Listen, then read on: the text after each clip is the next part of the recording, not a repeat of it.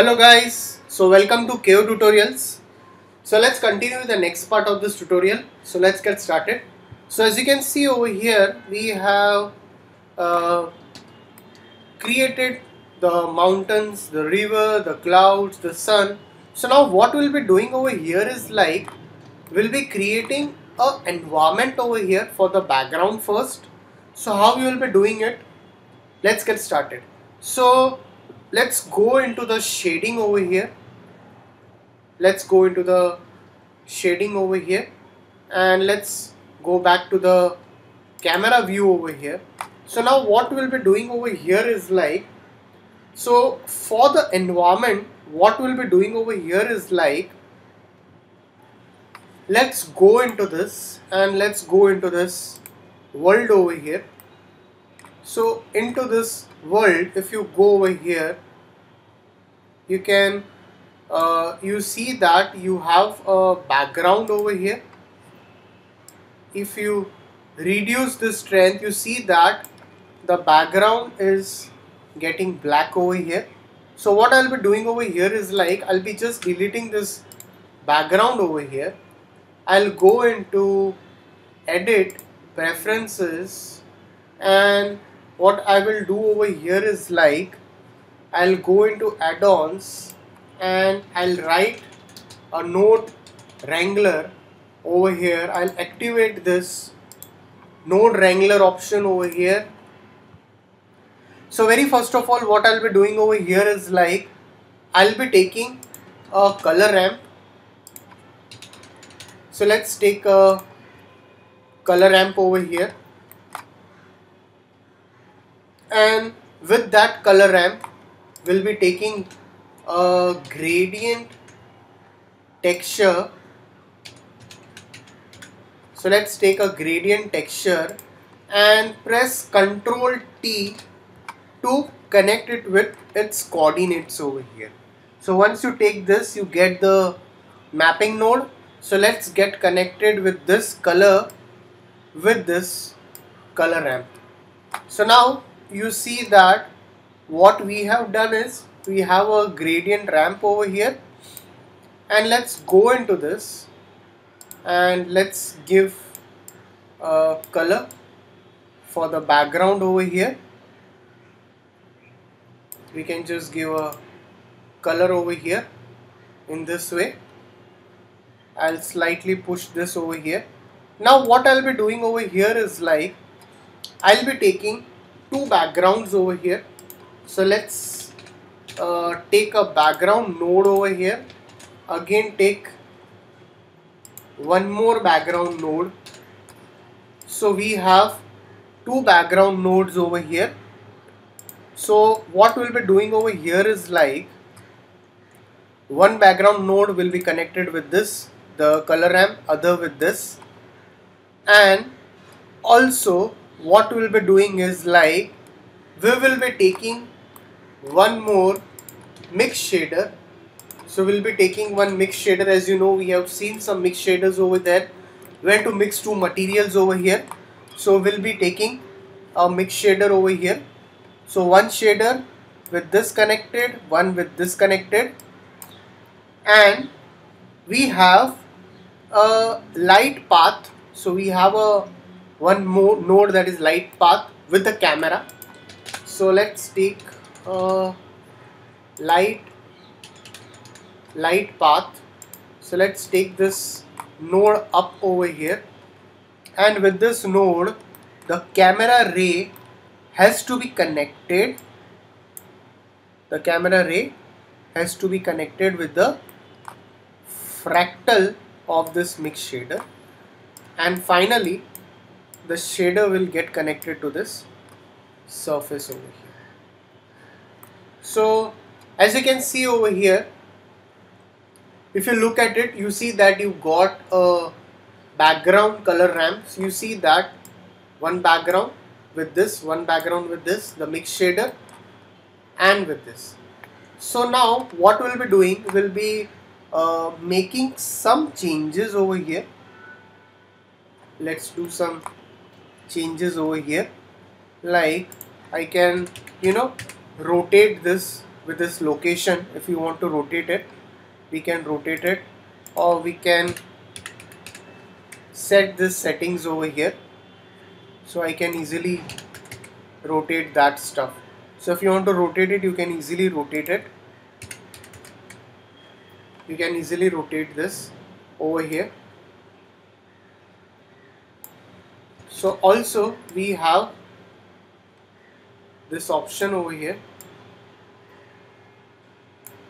that can be done. Can you see this? So if I move rotating this in z axis I can change this stuff accordingly so wherever you require you can give that.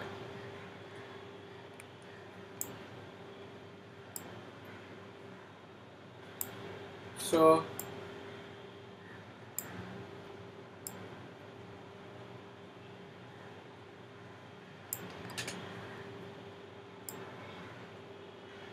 say this. If you push this closer you will see that this background is getting more sharper.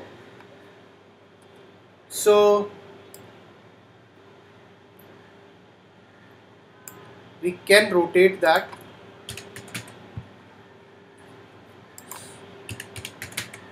Let's make it as minus 90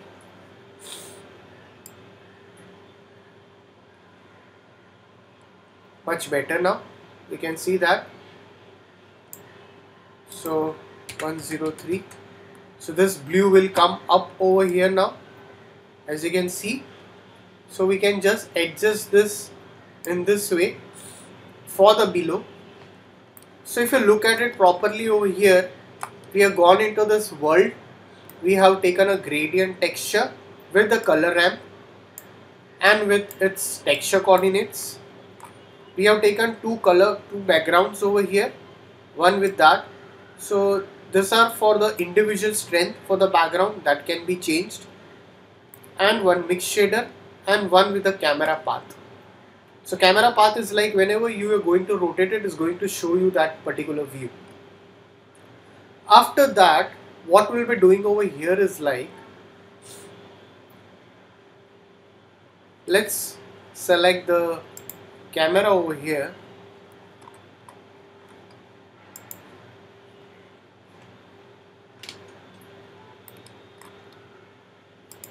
select its properties let's go back to the camera view. It's going to show you that a perfect look over here.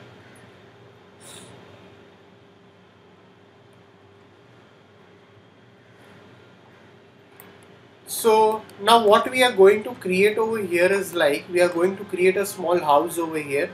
So let's again go back to the object over here. Let's go to the top over here. Let's go into the layout. And let's put this over here. Let's go into the add mesh. And let's take a cube over here. After taking a cube over here so I'll just go into this. I'll slightly scale it from the top and the right. Let's go into the edit mode. And let's press ctrl R. So let's again press 2 over here. And let's slightly push this up over here in this way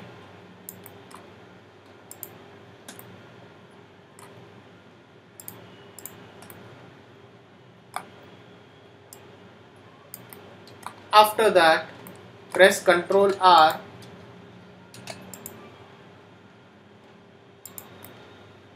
Again let's go into this polygons over here.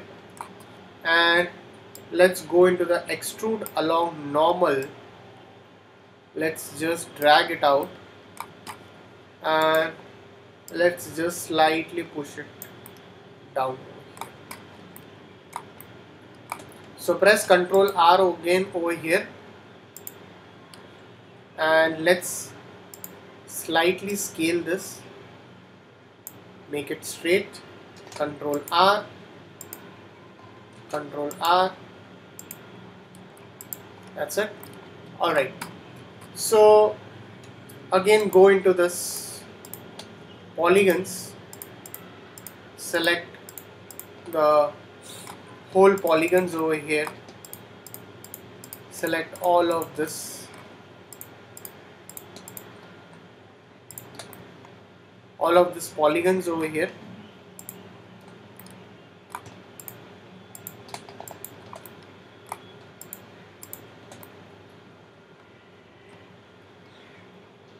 After that let's go into this material. We can go into the material properties and go into the shading.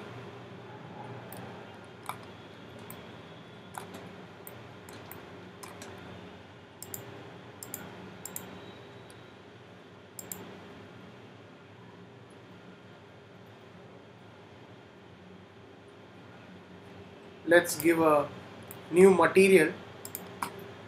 Let's give any color to it. That's it. So select this stuff over here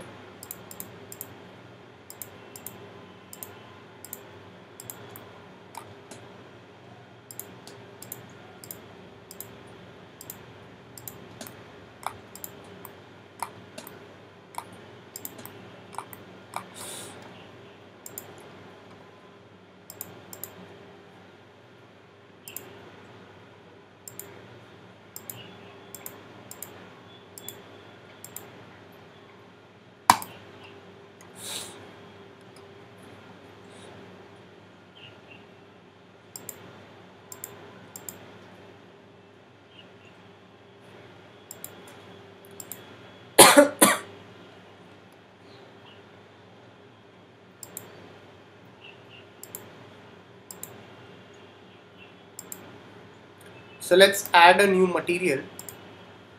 Take a new material. And let's give some kind of a brownish look over here. And assign that material over here and here. Again add a new material. Take a new material. Let's go into this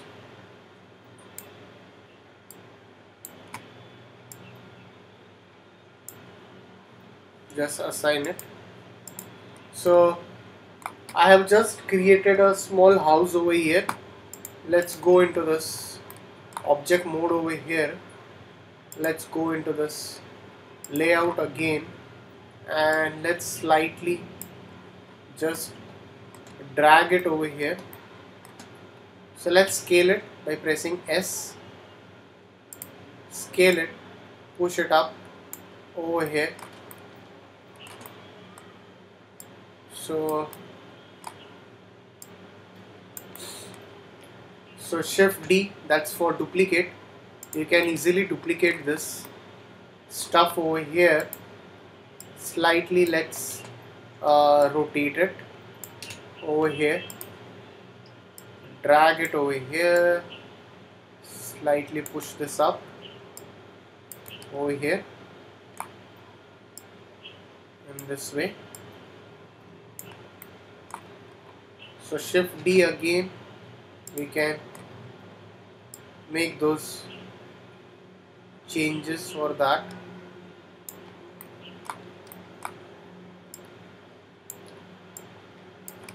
So you can definitely make such changes accordingly.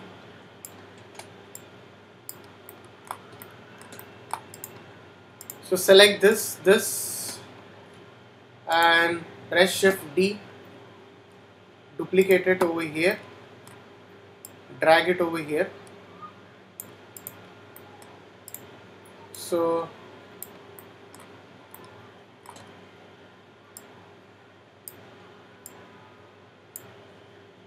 let's rotate it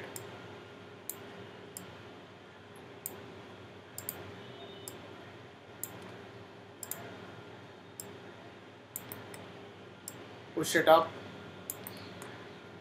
again over here.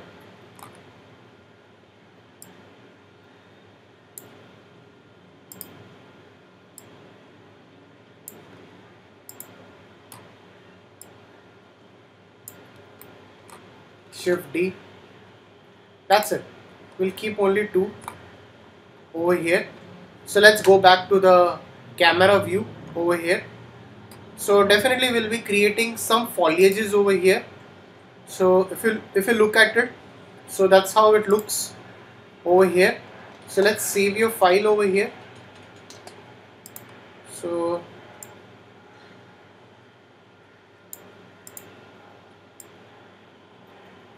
alright